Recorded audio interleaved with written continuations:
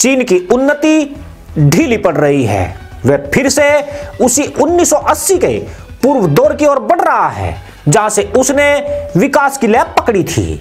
America की बड़ी कंपनियाँ तो चीन से अपना बोरिया बिस्तर समेट ही रही थी। अब जर्मन की एक चौथाई कंपनियों ने भी चीन को गुड बाय कह दिया है।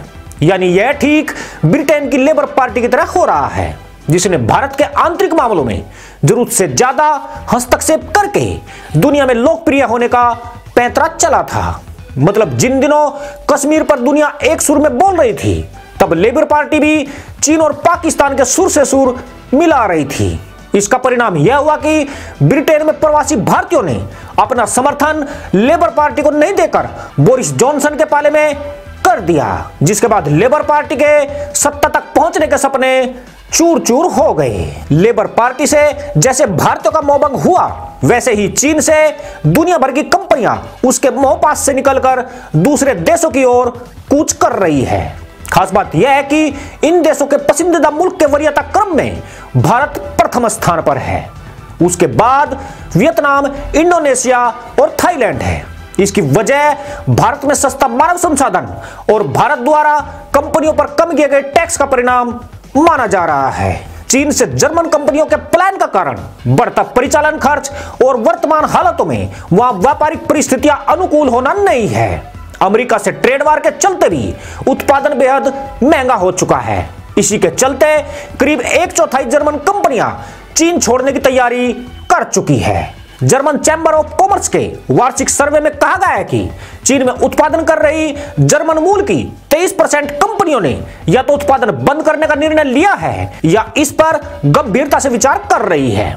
गौरतलब है कि चीन में इस वक्त जर्मन की 526 कंपनियाँ काम कर रही है, जिनमें से ज़्यादा ने चीन को छोड़ने का मन बना लिया है। पिछले दिनों जर्मनी चांसलर एंजिला मर्केल और पीएम नरेंद्र मोदी के बीच भी भारत में जर्मनी के निवेश को लेकर बात हुई थी। यहाँ उसका असर अब धीरे धीरे दिखने लगा है। भारत में कम लागत के चलते भी जर्मन कंपनियाँ यहाँ ज़्यादा दिलचस्पी ले रही है, जबकि चीन अपनी इकोनॉमी को संतुलित करने के प्रयास में है। इसकी वजह से वह एक्सपोर्ट और निवेश से उपभोक्ता खर्च आधारित इकोनॉमी की ओर बढ़ रहा है, जिससे चीन में मानव संसाधन काफ़ी महँगा हो गया है। हालत यह है कि कंपनियों की लागत की तुलना में मुनाफे में निरंतर कमी हो रही है। वे अपने लक्ष्य हासिल नहीं कर पा रही है, जिससे उन्हें अब घाटे में जाने का डर सताने लगा है। ट्रेड वार के कारण चीन से एक्सपोर्ट करना 50 फ़ीसदी महँगा हो गया है, पर मामला यहाँ तक नहीं है। जर्मन की एक चौथाई कंपनियों के अलावा बाकी कंपनियों ने सर्वे में स्पष्ट किया है कि वे भी अपना कारोबार दूसरे देशों में ट्रांसफ़र करने पर विचार कर रही है। ध्यान देने वाली बात यह है कि अमेरिका की 35 से अधिक कंपनियाँ पहले ही चीन की धरती को छोड़ चुकी है। इनमें से कई कंपनियाँ भारत और वियतनाम जैसे देशों में अपने नए प्लांट स्थापित कर रही है। खुद चीन की कंपनियाँ भी चीन की इस नीति से परेशान है।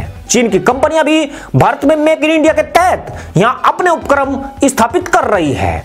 खास बात यह है कि चीन में काम करने वाली कंपनियों में सबसे बड़ा समूह जर्मन कंपनियों का माना जाता है। इनके द्वारा चीन को छोड़ना इस साम्यवादी मुल्क के लिए बड़ी चोट माना जाएगा, जबकि इन कंपनियों का भारत में प्रवेश देश के विकास में बड़ी भूमिका निभाएगा।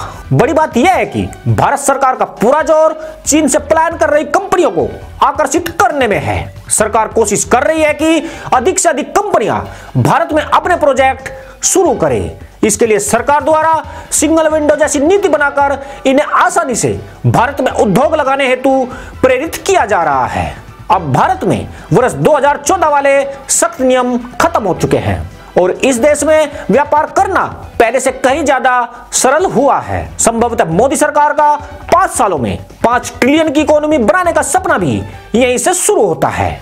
इसलिए जर्मन चांसलर एंजेला मर्केल और पीएम नरेंद्र मोदी की विगत दिनों हुई मुलाकात के मायने आज समझ में आ रहे हैं। आशा है दोस्तों, वीडियो पसंद आएगा आपसे शीघ्र भेंट होगी, तब तक के लिए अनुमति दीजिए। जय जवान जय किसान जय हिंद वंदे मातरम।